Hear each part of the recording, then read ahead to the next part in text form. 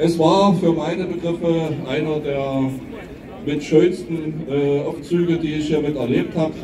Es war eine, also ich habe eine tolle Stimmung gefühlt und vor allen Dingen wir waren nach unserer Zählung 1300 Menschen, die äh, durch Bautzen gezogen sind. Ja, das ist Applaus wert.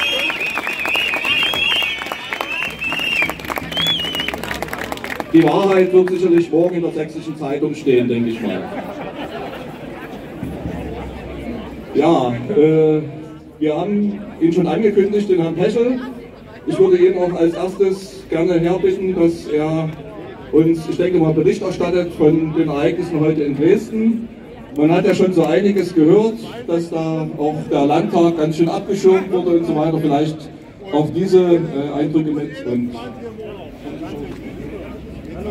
Hallo und guten Abend, Bautzen. Grüße Sie alle sehr. Bin ich gut zum Stehen? Wunderbar. Okay. Ähm, ja, wo fange ich denn an? Wie ihr alle wisst, die Partei mit A hat heute zum Sonderplenum eingeladen und es ging darum, die. Was ist wichtig? Ah, das ist wichtig. In Ordnung. Also, geht's weiter. Die Partei mit A hatte heute zum Sonderplenum im Landtag einberufen und es ging darum, die Impfpflicht für Pflegekräfte nicht umzusetzen und die Staatsregierung aufzufordern, bundesweit da zu agieren und dementsprechend auch zu handeln. Wo man denkt, es ist eigentlich eine ganz fachliche, sachliche Sache, muss man sagen, es ist eigentlich in ein ganz hässliches Theater abgeglitten. Es fing damit an, dass 120 Landtagsabgeordnete nicht da waren, dass 21 Landtagsabgeordnete abwesend waren. Wahrscheinlich gab es wichtigere Dinge, als über die Zukunft unserer Pflegekräfte zu debattieren. Am Ende war es so, dass wir eine namentliche Abstimmung eingefordert hatten und 35 Abgeordnete unserem Antrag zustimmen, stimmten, 62 dagegen stimmten, eine Person sich enthielt und wie gesagt 21 Landtagsabgeordnete ihrer Pflicht nicht nachkamen, diese Sitzung im Landtag beizuwohnen.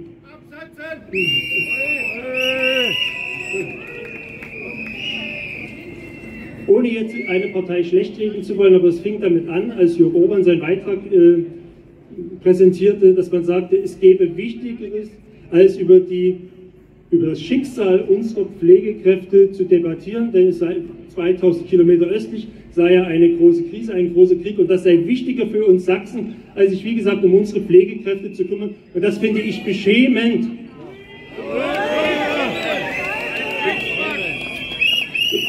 Und jetzt gestehe ich Ihnen was. Als Landtagsabgeordneter hört man ganz viele Themen, ist auch in vielen Dingen drin, aber niemals so tief, wie ich das heute erlebt habe. Und ich habe wunderbare Damen heute kennengelernt, die sich den, auf den Weg gemacht haben von Bautzen nach Dresden, um wirklich dabei zu sein, wie wir Landtagsabgeordnete über ihr Schicksal reden, debattieren. Und es ist für mich beschämend, dass es nicht um inhaltliche Auseinandersetzungen geht, dass man sagt, wir sehen es so oder wir haben diese Fakten oder jene Fakten. Nein, es geht darum, dass ein Thema zerredet wird, weil es nur von der Partei mit A präsentiert wird. Und im Gespräch mit den einzelnen Leuten, wenn man dann erfährt, Leute sind seit 40 Jahren arbeiten in der Pflege, setzen sich für unser aller Gesundheit ein und werden wirklich so unwürdig behandelt. Oder junge Pflegekräfte, die dem Druck leider nicht mehr standhalten und sagen, ich habe eine Familie zu ernähren, ich habe Kredit aufgenommen und deswegen habe ich mich impfen lassen, eigentlich gegen meine innerste Überzeugung. Und das ist erschreckend, in welchen Zeiten wir leben, dass Menschen gezwungen werden, natürlich indirekt, aber es ist ein Zwang, sich impfen zu lassen, um ihren Beruf ausüben zu können. Das ist eine Idiotie.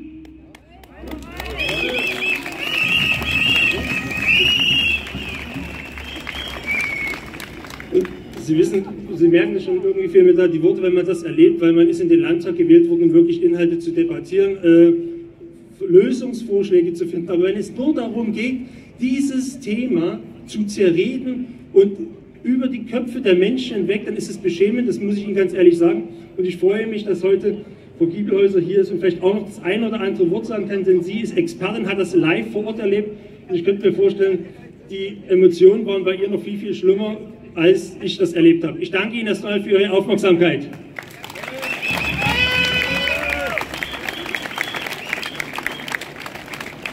Ja, guten Abend an alle.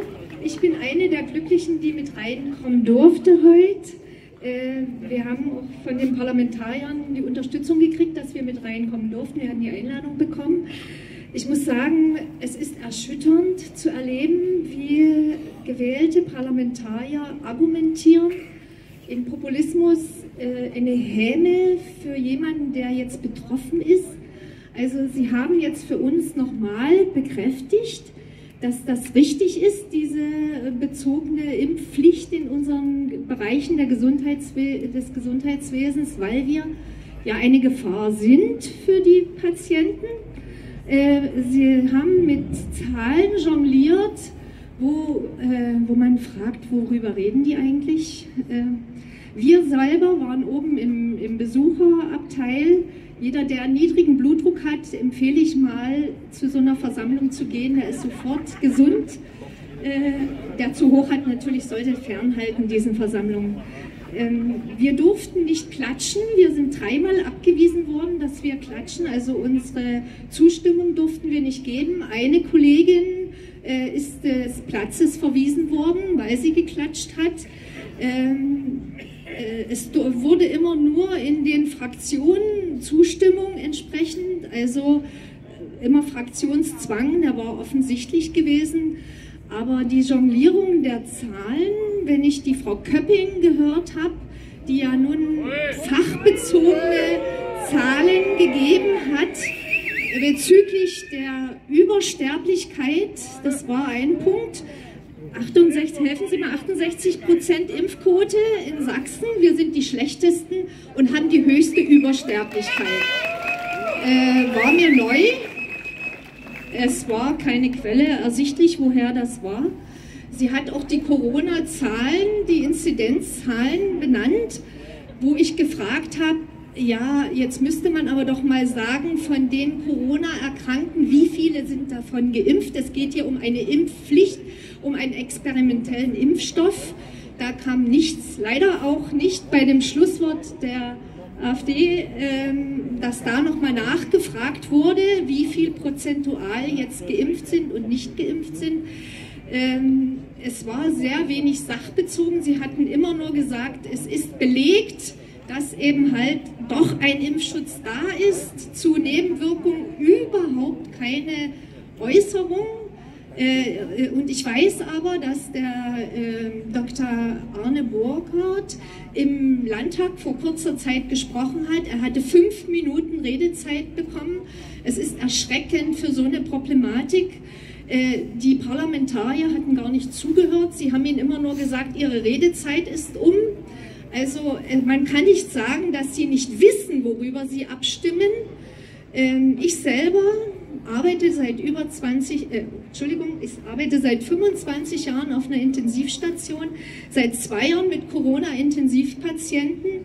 Wir haben mittlerweile äh, Nebenwirkungen liegen, die ja nicht deklariert werden als Nebenwirkungen. Ne? Das sind facettenreiche Erkrankungen, krasse Krankheitsbilder, sind immer auf einer Intensivstation, keine Frage. Aber was wir jetzt erleben, ist schon dementsprechend, was halt der Pathologe festgestellt hat. Ich habe mittlerweile auch das Gefühl, äh, oder ich, äh, ich, weiß es nicht, ob überhaupt, ähm, wie weit das Wissen da ist über die Befunde der Pathologie äh, von äh, Impfnebenwirkungen. Es war auch, äh, auch überhaupt keine Ansprache, warum das abgelehnt wurde, die allgemeine Impfpflicht. Also offensichtlich sind wir, die an der, am Patientenbett stehen, äh, Menschen zweiter Klasse, weil für uns ist es schon eine Gefahr, dass wir am Patientenbett stehen. Also ich bin jetzt zwei Jahre mit Corona-Intensivpatienten, seit dem 16. äh, März bin ich eine Gefahr für meine Patienten, obwohl ich noch nie positiv getestet, geschweige denn erkrankt oder irgendwas habe ähm, irgendwas stimmt hier nicht. Und ähm, Diskussion auf Station muss ich dazu sagen, äh, wir haben Ausnahmesituationen erlebt. Ich hatte das auch schon mal referiert. Es ist eine wirklich schlimme Zeit gewesen, die sicherlich auch wiederkommt, denke ich mal, äh, weil es ja im Plan schon steht. Aber ähm, es ist wirklich eine schlimme Zeit. Und wer 40 Stunden am Krankenbett liegt, äh, arbeitet und das erlebt, nebenbei vielleicht noch Notarztdienste macht, der kann einfach auch sich nicht mehr damit beschäftigen, mit den ganzen Drumherum. Ich arbeite nicht mal 40 Stunden, ich habe diese Zeit. Äh, und es ist schon gravierend, wenn man sieht, das, was ihn, ja, der äh, Dr. Äh, äh, Arne Burkhardt referiert hat über seine Befunde, die er jetzt auch wirklich ganz sachgemäß gemacht hat und mit Unterstützung von, ähm, von anderen Laboren, von Schweizer, Österreicher Laboren, äh, dass dort überhaupt nichts ankommt. Also man hat das Gefühl, sie haben gar nicht zugehört. Es geht einfach nur gegen die AfD. Es geht gar nicht um den Sachverhalt. Das könnte alles Mögliche verhandelt werden. Das war das Gefühl, was ich jetzt hatte. und dass wir jetzt, äh, wir sind ja quasi jetzt rechtswidrig am Patientenbett. Wenn ich das auf Arbeit erzähle, sagen die, ach hör mal auf, das passiert ja nicht, ihr könnt ja weiter arbeiten. Aber wir sind nicht mehr vertrauenswürdig. Wir müssen uns am, äh, jeden Tag testen und müssen mit jemandem, mit den Kollegen, der muss uns bestätigen, dass wir auch wirklich einen negativen Test haben. Die geimpft sind, brauchen das nicht. Da ist das Vertrauen da und egal, da braucht niemand drauf gucken, braucht man die Unterschrift. Es sind eine Zweiklassengesellschaft. Es, eigentlich gibt es ein Grundgesetz, Gleichbehandlung. Ich weiß es nicht. Es ist die, ja, wie es jetzt gehandhabt wird. Und äh, was mich auch sehr geärgert hat, wenn man sich beschäftigt, die Impfstoffe oder sogenannten Impfstoffe, ähm, wenn man das, die Änderung im Arzneimittelgesetz sich einfach mal anguckt, würde ich jedem mal raten, mal reinzugucken, was ist da bezüglich dieser Impfstoffe geändert worden, der Umgang damit. Ja? Warum haben die äh, Impfstoffe keine Begleitzettel? Jede Tablette hat dicke Zettel, wo alles drinsteht, was ist, was zu erwarten ist. Warum gibt es das da überhaupt nicht? Ne? Sind verschiedene Sachen, die einfach sich lohnen, mal nachzuforschen. Äh, ja, ich danke erstmal für die Geduld, aber es ist noch viel Arbeit. Normalerweise muss ich sagen, durften wir nicht mehr arbeiten muss ich so sagen, normalerweise durften wir nicht mehr ans Krankenbett gehen. Wir haben uns gefreut, wo der Herr Witschas uns zugesagt hat, dass es mit ihm keine, ähm, kein Betretungsverbot gibt, weil wir sind einfach systemrelevant, wir, brauchen, werden gebraucht, aber es er hat dort auch als Person dahinter gestanden, muss ich sagen. Es war auch wirklich ein angenehmes Gespräch mit ihm.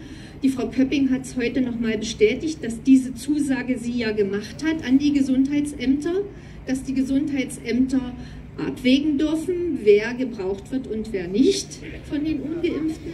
Aber wenn es ein Fakt ist, dass wir, wenn wir nicht geimpft sind, eine Gefahr für unseren Patienten sind, können wir nicht mehr frei arbeiten, weil ich habe eine Verantwortung für den Patienten und ich möchte nicht, dass ich eine Gefahr bin für den Patienten. Aber ja, mittlerweile die Kollegen sind froh, dass sie arbeiten können, dass sie ihren Kredit weiter bezahlen können, dass sie Alleinerziehende weiter Lohn bekommen, ist alles nachvollziehbar, aber letztendlich sind wir quasi die Lückenhalter, bis ein Ersatz für uns gefunden wurde.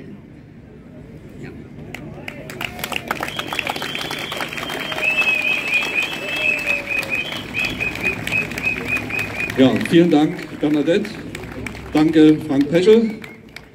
Ja, für mich, äh, ich möchte hier gleich anknüpfen, für mich äh, leitet sich ja eigentlich eine Sache ab.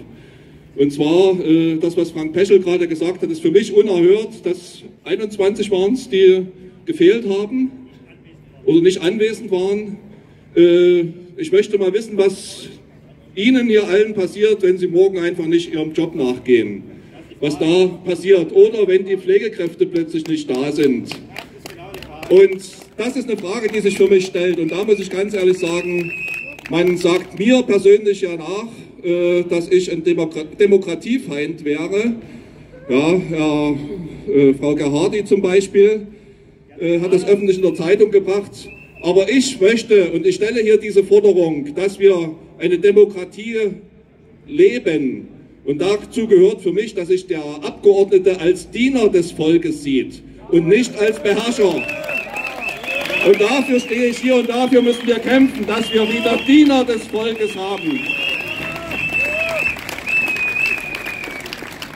Das betrifft Stadträte, das betrifft den Bürgermeister, das betrifft den Landrat.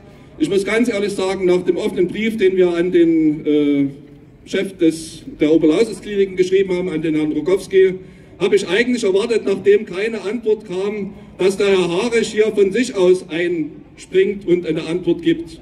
Die werden wir aber jetzt einfordern müssen. Ja, also wie gesagt, die Forderung, wir brauchen Diener des Volkes, die wirklich für das Volk da sind.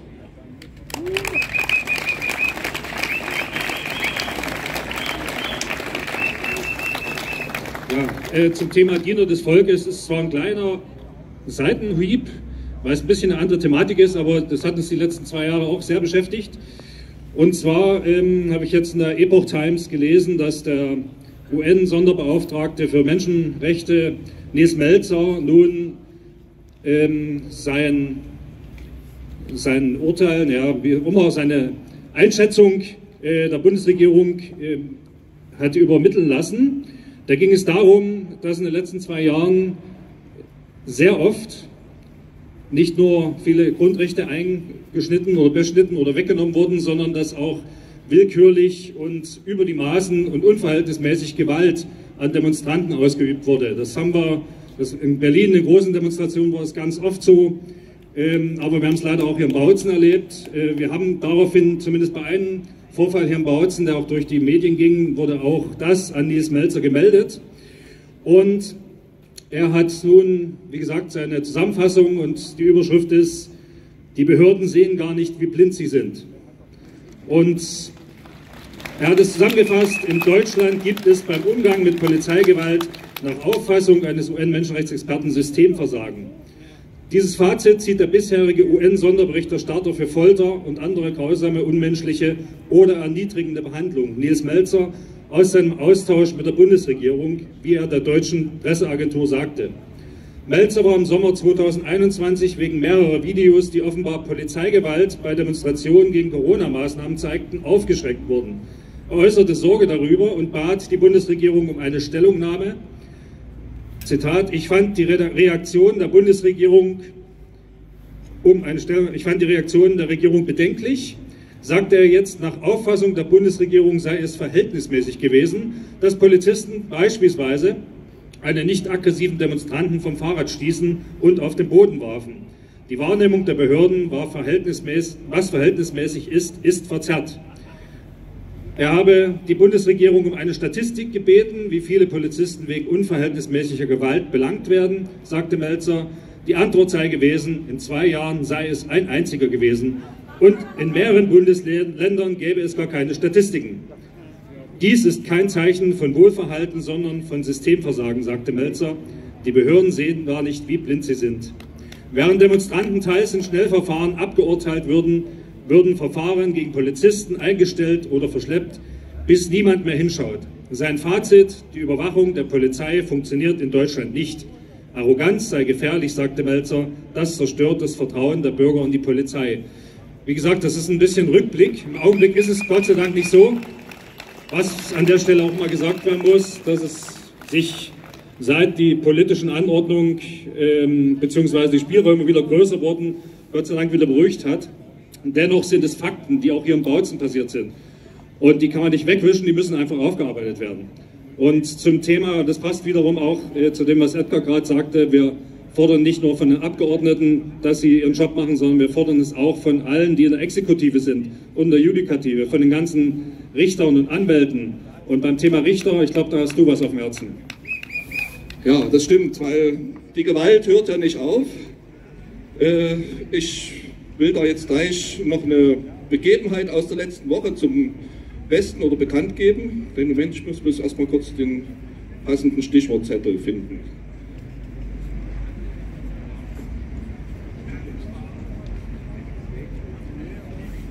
Genau, ja. Es ist ja so, irgendwann kommt man in eine polizeiliche Maßnahme, hat eine Ordnungswidrigkeit an der Backe und äh, obwohl man eigentlich der Meinung war, dass man sich richtig und korrekt verhalten hat, So ging es mir zumindest äh, im Januar 2021. Man muss ja mittlerweile mit den Jahreszahlen aufpassen. Und es gab in der vergangenen Woche einen Gerichtstag, an dem man äh, geballt mehrere äh, Übeltäter, äh, die äh, praktisch auf der Straße zu sehen waren im Januar, als es eine Ausgangssperre gab, äh, aburteilte, will ich mal so sagen. Die, äh, was auffällig war, war, dass bei allen Verfahren, die dort durchgeführt worden sind, die gleiche Taktik bzw. die gleiche Strategie von der gleichen Richterin, der Frau Dr. Gutte, äh, vollzogen wurde. Ja, und äh, ich bin darüber äußerst empört. Äh, es ging nicht nur mir persönlich so, sondern auch anderen so, dass die Zeugin, die, also die einzige Zeugin, die von der Polizei geladen war, eigentlich, zumindest bei mir, eine korrekte Aussage gemacht hat. Nämlich bei mir hat sie ausgesagt, dass sie während des Vorgangs, der aufgenommen wurde, mit anderen Menschen beschäftigt war, Personalien aufzunehmen und sinngemäß damit eigentlich zu meinem Fall gar nichts sagen kann. Das ist aber an irgendeiner Stelle von der Richterin überhaupt nicht aufgenommen worden. Meine Darlegung, wie sich der Vorfall zugetragen hat, nämlich dass ich einen triftigen Grund hatte, auf der Straße zu sein, da ich einen wichtigen Einkauf von äh, Waren täglichen Bedarfs getätigt hatte und mich auf dem Weg zu meinem Auto befand, als ich durch einen Polizeivollzugsbeamten, nee, Quatsch, Bediensteten, äh, aufgegriffen wurde und äh, zurückgerufen wurde zu einer Versammlung, zu einer vermeintlichen, äh, ja, beruhte auf mehrfachen Vermutungen der Richterin.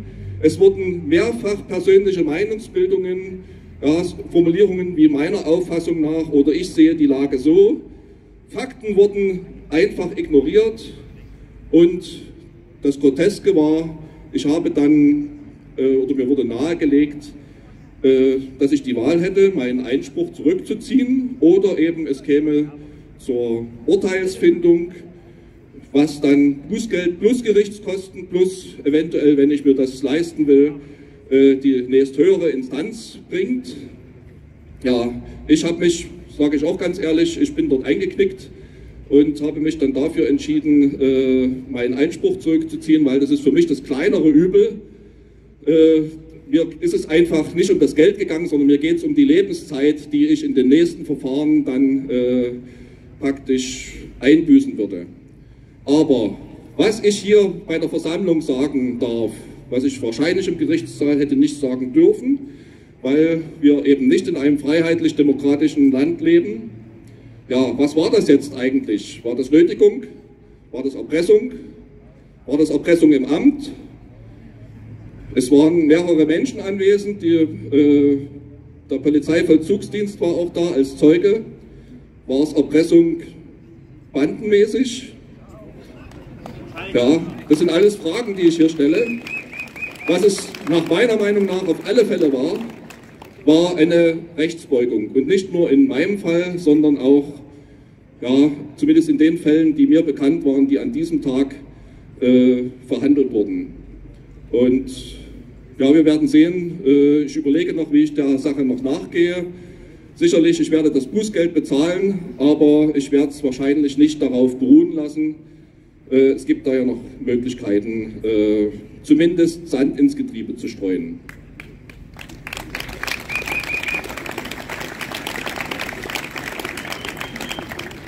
Ja, und da muss ich eben sagen, wir müssen wieder zurück, wir müssen zurück zu einem Rechtsstaat. Ich meine, dass mit diesem Rechtsstaat hier was nicht stimmt, beziehungsweise dass wir den nicht haben, das habe ich hier schon mehrfach ausgesprochen, diese Meinung. Aber am letzten, am vergangenen Mittwoch wurde es mir nochmal ganz besonders deutlich gemacht. Und hier werden wir auf alle Fälle, oder ich werde hier so lange stehen, bis diese Verantwortlichen auch alle zur Rechenschaft gezogen sind.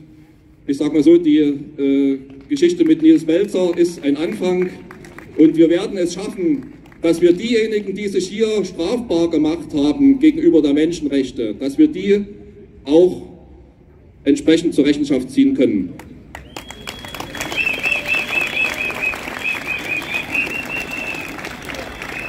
Danke, Edgar.